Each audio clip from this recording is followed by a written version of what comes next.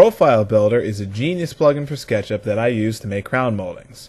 Up until I discovered this plugin, I would create profiles and use the Follow Me tool to put these profiles around the tops of my cabinets. This works very well, but it requires you to draw or copy the profile each time you do this, and you cannot switch your moldings out at will. Every time you want to change a crown or move it, you have to redraw it every time. Using Profile Builder will really streamline your process of creating moldings. Just watch how easy it is to apply a crown to this kitchen.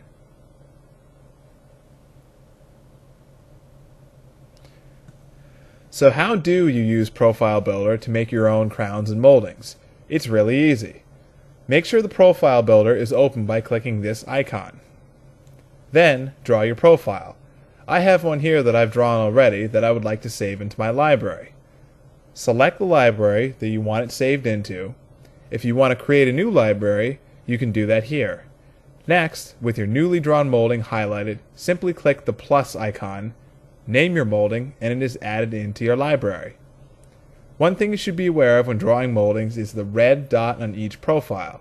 Since every molding is placed where the red dot is, it is important to set that correctly. As you can see in this molding that we created, the red dot is in the center. This would cause the molding to be improperly placed if we started drawing it. To solve this, simply change the location of the red dot. You can do so by using the placement point setting.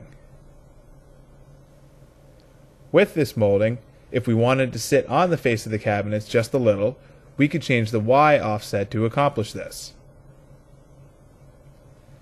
You can change the attributes of any molding without redrawing it. Most commonly, us kitchen designers are going to be switching one molding for another. To do this, simply highlight the already drawn molding.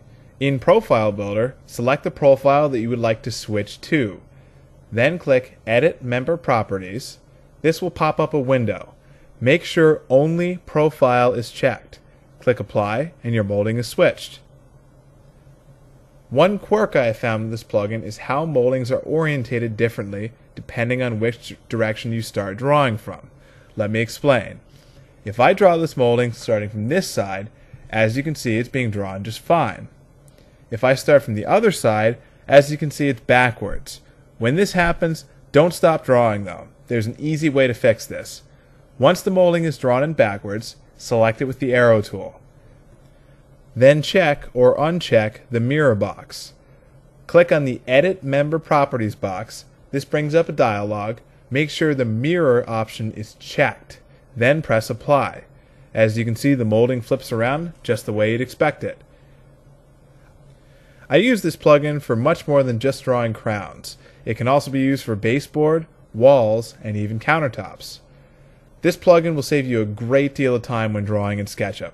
I suggest you head over to smustard.com and purchase it right away.